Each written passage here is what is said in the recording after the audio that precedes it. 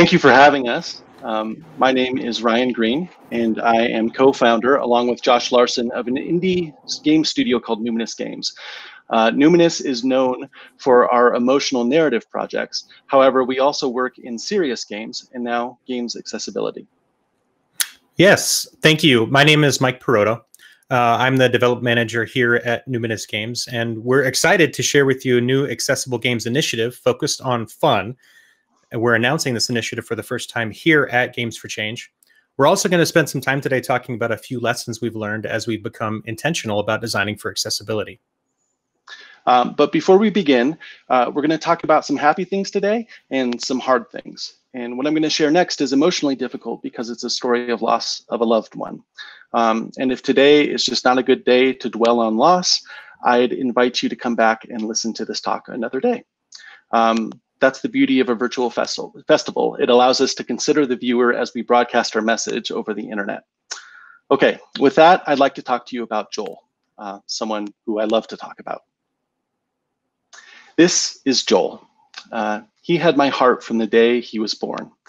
He's my third son, and when he turned one, he was diagnosed with a very rare brain cancer. Um, Joel may not have grown old enough to change the world, but he certainly changed my world. His life was, was a force of gravity that pulled me and all who love him into his, or, his orbit. While the world around us spun madly on, Joel opened my eyes to the transformative power of caring for a child with special needs. Needs that plead with the world to slow down. Loving him demanded that I slow down too. Loving him demanded that I care. Love dictated it.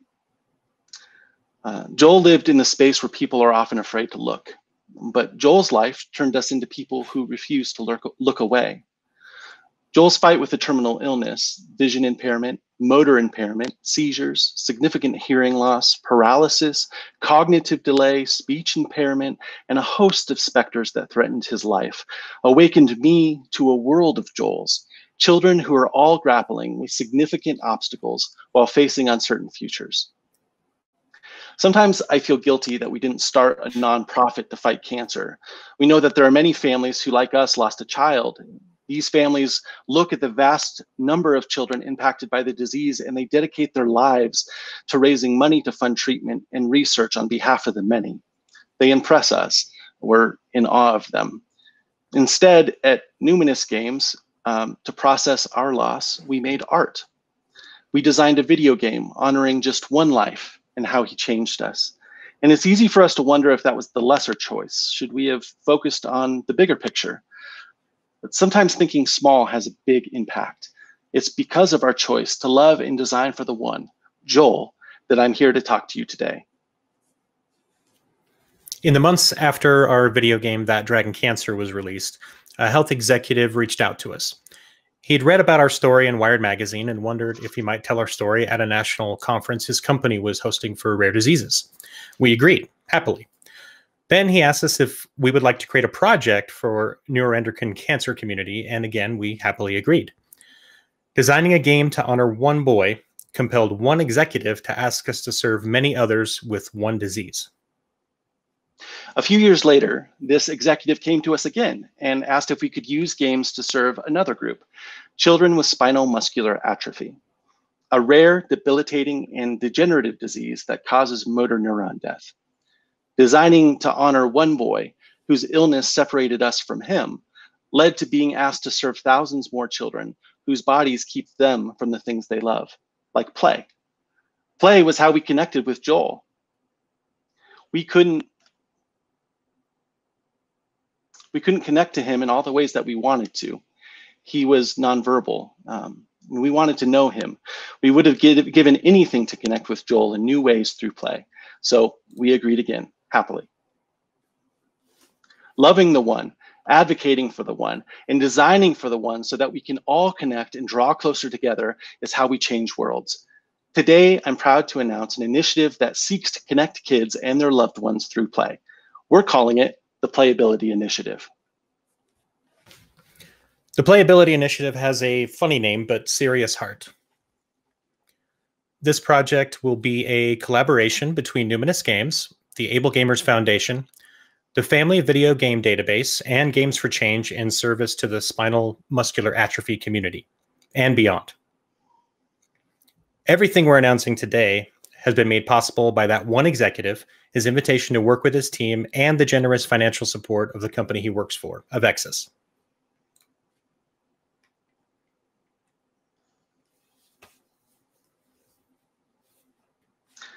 Through the sponsorship of AveXis, this, this initiative seeks to collaborate with the community. Numinous will be collaborating with the SMA and broader disability communities to design a one-button multiplayer adventure game for kids. What does that mean? It means it's a seriously fun game that can be played with a single button input. We're calling it Painted Waters, where adventure creates. For some children with spinal muscular atrophy, Painted Waters may be the first video game they play that was designed specifically with them in mind. Many games are adapted to players with special needs after the fact. And thanks to the leadership like of uh, foundations like Able Gamers, whose mission is so everyone can game, kids and adults can connect to adaptive technology. We wanted to partner with them to not only bridge the gap between games and their players after a game has been created, but to consider all players in the design process from the very beginning. What if, instead of oh, what if instead of starting with what the majority of players were capable of, we started with what a single player could? If this one player could only move one finger, could we make a game that's fun for everyone based on the abilities of that one? What if that same game helped players and their families learn more about the types of games and adaptive technology that were available to them? We'll be working with Able Gamers to design a special game mode that helps parents, caregivers, therapists, and educators assess what their child can do and point these adult advocates to adaptive technology best suited for their child's needs. The next aim of this initiative is to connect players with the games they'll love. Once players are connected to the adaptive technology best suited for them, they'll need games to play. When a parent of a child with a disability tries to find a suitable game for their child, it isn't as easy as looking for the E for everyone rating. Everyone usually doesn't mean their child. Everyone is not the one. Each child has unique abilities, whereas the labeling that says what kind of manual dexterity is required for gameplay, how much rapid motor function is needed, whether or not eye tracking is supported. Finding an accessible game is not as simple as a label indicating a game compatible with adaptive technology. Parents need specific details relating to their unique child's abilities. This is why we've teamed up with Andy Robertson, a games journalist out of the UK who's an expert in family gaming. He work, his work encourages parents to meaningfully engage with their children through gaming by providing them resources and recommendations through his various popular social media channels. Andy's latest project, the Family Video Game Database, is growing into a treasure trove of curated game lists and powerful search features that connect adult advocates and their children with games they'll love. Numinous and AveXis sponsorship of the database will allow Andy and his team to provide new accessibility search filters that offer the kind of specific details parents can find for their children. The sponsorship will also empower Andy to add even more game profiles to the list so we can better serve players in the community and their particular needs. We're also build, building the Playability Initiative Adaptive Gaming newsletter. This newsletter will highlight cura curated lists and resources meant for advocates of our players so that they can discover new games and new adaptive technology trends for their kids. You can sign up now for this monthly newsletter at playabilityinitiative.com. Throughout the life of this initiative, while we as game designers learn how to serve our players, we will also seek to challenge inclusive designers of the future to consider individual players and their abilities. Numinous will be collaborating with Games for Change in this year's Student Design Challenge. Inclusive design is important across all issues, whether designing games to educate players on the issues that affect our environment, our society, our policies. Inclusive designers look for ways to draw all people into the conversation. Through the sponsorship of AveXis, Numinous will be working with Games for Change to create teaching materials that convey what we're learning as new inclusive designers through our own practice and through intentionally learning from experts in the field like the Able Gamers Foundation. We look forward to collaborating with you and serving a community of players who will change the world through their play together, their empathy for each other, and their creativity to imply, apply inclusive design thinking to all that they do. We'd like to thank Avexis for their generous support in this endeavor, and we look forward to sharing more with you in the year to come. In the last half of this talk, we'd like to share with you some of what we're learning as newly minted inclusive designers. We want to show you what happened when we asked ourselves, what if we start designing for one player and their abilities? First of all, we're not experts in the inclusive design yet. Our industry is seeing encouraging growth in accessibility, most notably with the wealth of accessibility features included in the blockbuster game The Last of Us 2. But accessibility in games has a long way to go. For change to occur, small developers like ourselves and large developers need to start considering all of their players when designing games. We expect to fail, we expect to learn, we're listening, and we're committing to sharing that journey with you. Today, we'd like to share a little bit about what our team is learning while designing for The One. In our case, that means folks like my friend Zach, who hasn't played games for years, and the children we've met working in this initiative, um, some who can't breathe without a trach, some who can only slightly move their fingers, some who play with their eyes. The first design tip I want to share with you is to encourage you to find the one to design for. Parents, therapists, and educators are all evaluating our games with a particular player in mind, and that player has a name. This is Zach. He writes children's books. When I was first starting discovery work on this initiative last year, I thought, hey, this guy that comes into the local coffee shop I visit has cerebral palsy and writes children's books about kids with disabilities. Maybe he'd be a potential collaborator. After introducing myself, however, Zach and his aide John became fast friends, and we spent many hours over the last year talking about family and films, the stuff that ticks Zach off, and the stuff that makes him happy, and his ambition as a creative. I asked Zach early on if he played video games. He said he didn't. He used to play, but when he found out that his controller wasn't really controlling the games he thought he was playing, he stopped. He hadn't played in over a decade. I asked him, hey, if I made a game for you, would you be willing to try it out? I have this sweet new Xbox adaptive controller and I make games. He readily agreed. And he told me he used to like downhill skiing and playing ice hockey when he was growing up. But even in those real life sports, he faced the same frustration of a lack of autonomy. He didn't have as much control as the people helping him did. So in my free time, while working on this initiative, I also made a two button air hockey game and a downhill skiing prototype. Now, I'd love to say that these tests went perfectly and Zach was able to cruise elegantly downhill on his new virtual skis and our fast-paced hockey game was nail-biting to the end, but that's not how it went. The prototypes were buggy, and as a novice inclusive designer, my implementation was flawed.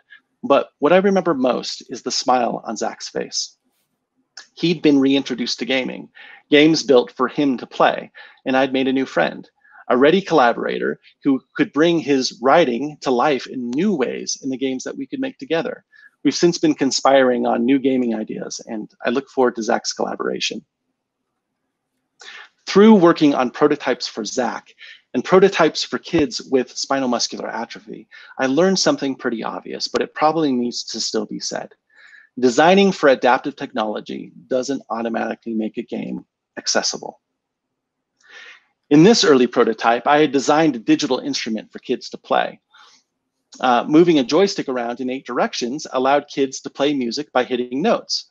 I focused on adapting uh, joystick movement, patting myself on the back for allowing the player to interact with touch, adaptable joysticks, and eye gaze control. However, I had neglected the one button players by only giving them the ability to tell the animals to sing. Some of my players could compose, compose beautiful jazzy riffs uh, with their joysticks, but some of my players could only conduct the choir by pressing start and stop. This leads me to our next design tip. Examine your inherited ability bias. Many of our favorite fighting, shooter, driving, and platforming games are less about play and more about mastering difficult interfaces with dexterity. They're hand puzzles for the most dexterous among us. With players who can do this, it's no wonder I can never last more than a few minutes in Fortnite. Knowing I needed to avoid the trap of designing for dexterity, I focused on simple controls. I researched adaptive technology, special ordering custom 3D printed joysticks, but I brought my own inherited bias as well. By designing for joystick-based movement, here you see in my playtest, some players were navigate the joy were able to navigate the joystick and touchpad to make the unicorn draw pictures in the pond. But for my eye tracked player, I had neglected to support gaze only input since they couldn't see any, since they couldn't use any of the fancy switches I had bought. They couldn't look and press a button like the game required. Likewise, players who could use a one switch setup weren't able to move as freely as their joystick powered peers. Our assumptions about most players being able to play neglected the one player who plays with a single button. Thankfully, Numinous recently hired another talented designer who recently evaluated our early pro prototypes. His name is Hayden, and he had the following observation. Prioritizing joystick movement makes using adaptive input tedious and annoying. Hayden isn't one to mince words. and so he recommended we pause our design with our mountain of ideas, mechanics, and themes for this new game we're making, and asked us the following question. What does the player want to do, and what is preventing him from doing it? We decided to zero in on the movement problem. If some players are able to play with, it, with only a single switch, do we care about their play experience? If we do, then is joystick-based movement really a core value for our game? What will players want to do and what is preventing them from doing it? When we focus on the, what most players could do, instead of focusing on one player, we mourn our, our losses when we can't use the flashy input controller. Um, but when we focus on the one, we create a gift for them that isn't about us as designers at all. And when we do it well, it serves everyone. Hayden introduced us to some new references and explored new ideas on how to design our maps. What would happen if we allowed players to focus on their desired destination rather than just their next step?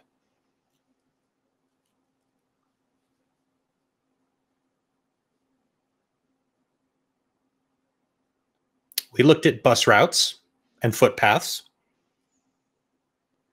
We thought about planning paths by bouncing characters around an environment or using line of sight to determine the next destination based on eight cardinal directions. When we thought about it, we realized that we don't plan our steps in real life, we plan our destinations. And for many of us, our movement is as involuntary as a heartbeat. Why do we value joystick movement so much in our games? Sometimes they just get in the way. As we prototyped, we started building off of each other's ideas. Well, what if we could let go of our expectation that free-form movement is the best for everyone? What would grid movement look like? How many options could we offer at any given time? What if we moved on the outlines of the grid rather than from the center of the spaces? In this first example, every time the sphere changes direction, the player has hit their button. This led to some very fast and fun movement that didn't require the player to press a button at every junction of the map. In this second example, uh, collecting items wouldn't require players to press multiple buttons. As they move, collecting items could be as easy as encircling them. When your player avatar is a bug who always tends to turn left, collecting an item uh, is as simple as pointing the bug in the right direction, or in this case, the left direction.